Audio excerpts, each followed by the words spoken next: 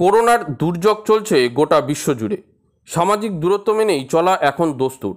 যে কোনো ধরনের জমায়েত এখন মারাত্মক বিপদ ডেকে আনতে পারে। তাই পুরীর রথযাত্রা নিয়ে এবার নিষেধাজ্ঞা জারি করল সুপ্রিম কোর্ট। করোনা পরবর্তী পরিবেশে আমজনতার স্বাস্থ্য ও সুরক্ষার কথা ভেবেই এই সিদ্ধান্ত নেওয়া হয়েছে বলে জানায় শীর্ষ আদালত।